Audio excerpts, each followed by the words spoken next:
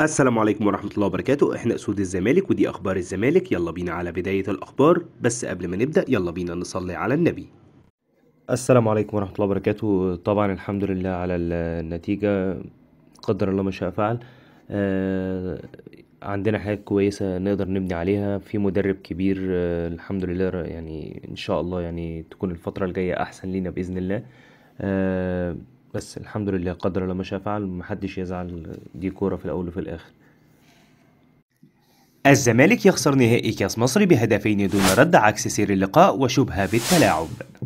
شهدت مدرجات جماهير الزمالك في ملعب الأول بارك أزمة قبل انطلاق نهائي كأس مصر ومنعت اللجنة المنظمة لمباراة الزمالك والأهلي دخول أدوات التشجيع التي كانت رفقة الجماهير وهذا الأمر الذي تسبب في غضبهم ونجحت رابطة مشجعي الزمالك في الدخول بأدوات التشجيع بعد تدخل عبد الواحد السيد مدير الكرة بنادي الزمالك. حرصت جماهير نادي الزمالك على تقديم نفسها بشكل جيد في مباراة الأهلي بنهائي بطولة كأس مصر المقامة بالمملكة العربية السعودية وقدمت جماهير الزمالك تيفو رائع على شكل فرعوني مميز في إشارة إلى فارس القلعة البيضاء.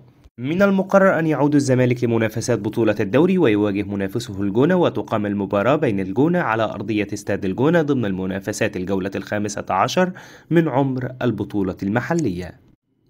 مرتضى منصور عبر فيسبوك قبل لقاء الأهلي. المستشار مرتضى منصور يتمنى لأولاده لاعبي فريق الزمالك التوفيق في مباراة اليوم ويأمل أن يقدم الفريقان الزمالك والأهلي مباراة تليق بوطنهم مصر من التحضر والرقي والروح الرياضية وأضاف أتمنى من جماهير الفريقين الزمالك والأهلي أن يتذكروا خلال المباراة أننا جميعا إخوة نتمنى لمصر العظيمة سفراء لمصر في بلدنا الثاني السعودية العزيزة على قلوبنا.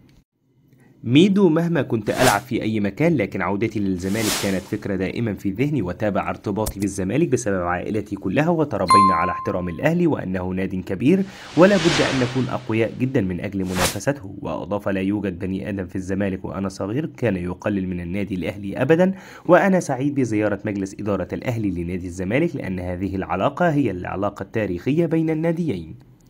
أحمد عيد عبد الملك كولر ساعد الزمالك في بداية الماتش كتير والزمالك مستحوذ وأقرب وما عندوش شراسة كبيرة والأهلي مش موجود ومستني يجي فيه جول غ... على غير العادة ولاعيبة الزمالك مش مصدقة إنها هتكسب لحد النهاية وأول كرة على مرمى عواد في آخر أربع دقايق وشدد جوميز مدرب محترم جدا وعاجبني أسلوبه في الضغط والاستحواذ واختتم الزمالك لو معاه فروت بالفرقة دي يكسب أي حد وعند رأيي إن كل لاعيبة مصر في كل الدرجات قريبة من بعض جدا.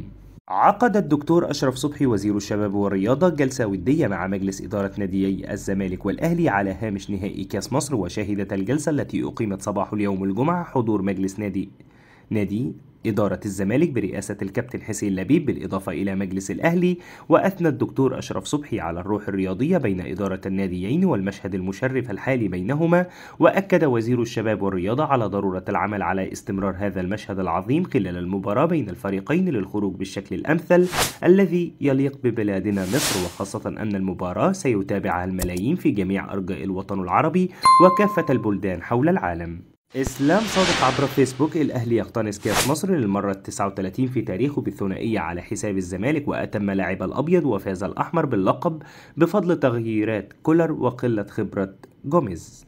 جوزيه مورينيو من دون مجازفة من جانب الأهلي. من الصعب أن نقول أن النتيجة عادلة لكي نكون عادلين. كان يجب أن تذهب المباراة للأشواط الإضافية وأكد الفرق الكبيرة لديها شيء سحري خاص استثنائي. هناك من يسميه الحظ وآخرين يسمونه الخبرة أو حماية من السماء لكن عادة الفرق الكبيرة عندما تصل للحظات الحاسمة تفوز. وزاد لم يكن هناك من جازف من أجل الفوز الأهلي سجل والزمالك لعب مباراة كبيرة سيعودون حزينين لكن بفخر والأهلي كسب لقب تاريخي إلى سجلهم العظيم في أمسية رائعة وتنظيم مميز. كانت أمسية كبيرة للكرة المصرية واستطرد الزمالك لم يستحق الخسارة. من الصعب علي أن أقول من يستحق أن يفوز لكن الزمالك سجل لكن الذي سجل فاز كنا نقول أن المباراة ستذهب لأشواط إضافية. الإيقاع كان منخفض لم يكن هناك من يحاول أن يخلق مشاكل للخصم. بس كده هي دي كل الأخبار اللي كانت معانا النهارده عن نادي الزمالك. أتمنى الفقره تكون خفيفه على قلبكم. ادعمونا ب like الفيديو subscribe القناه ومتشكرين جدا على دعمكم لو عندكم أي ملحوظة سيبوها لنا في التعليقات. سلام.